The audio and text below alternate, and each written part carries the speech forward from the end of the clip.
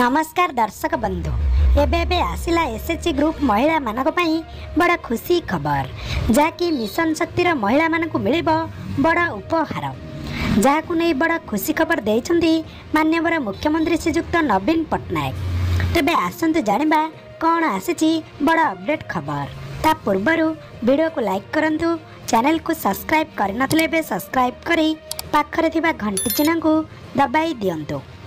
ତେବେ ମିଶନ ଶକ୍ତିର ମହିଳାମାନଙ୍କୁ ମିଳିବ ଏକ ହଜାର ଟଙ୍କା ଉପହାର ରାଶି। ଯାହାକି ଏହି ରାଶି ମିଳିବ ଛଅ ହଜାର ଗ୍ରୁପର ସତୁରି ଲକ୍ଷ ମହିଳାମାନଙ୍କୁ।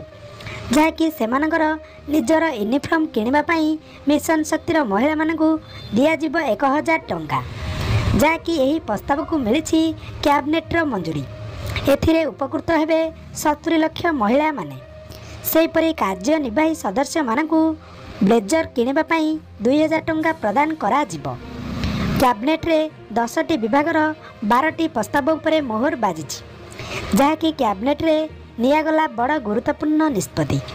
ତେଣୁ ଏହି କ୍ୟାବିନେଟ୍ ବୈଠକରେ ମୁଖ୍ୟମନ୍ତ୍ରୀଙ୍କ ଅଧ୍ୟକ୍ଷତାରେ ଅନୁଷ୍ଠିତ ହୋଇଥିଲା। ଏହି ବୈଠକରେ ମୋଟ ଦଶଟି ବିଭାଗର ବାରଟି ପ୍ରସ୍ତାବ ଉପରେ ମୋହର ବାଜିଛି।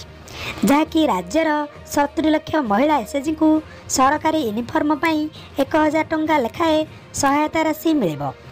ଯାହାକୁ ନେଇ ବଡ଼ ଘୋଷଣା କରିଛନ୍ତି ମାନ୍ୟବର ମୁଖ୍ୟମନ୍ତ୍ରୀ ଶ୍ରୀଯୁକ୍ତ ନବୀନ ପଟ୍ଟନାୟକ।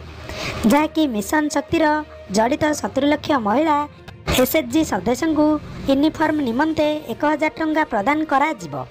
ତେଣୁ ମୁଖ୍ୟମନ୍ତ୍ରୀ କହିଛନ୍ତି କି ବରିଷ୍ଠ ବୁଣାକାର ଓ କାରିଗର ଭତ୍ତା ଓ ଛାତ୍ରବୃତ୍ତି ଭତ୍ତା ଏହିପରି ଯୋଜନାକୁ କ୍ୟାବିନେଟ୍ର ମୋହର ବାଜିଛି ଯାହାକି ବୁଣାକାରମାନେ ଦୁଇ ହଜାରରୁ ଅଧିକ ପାଞ୍ଚଶହ ଟଙ୍କା ଲେଖାଏଁ ପାଇବେ।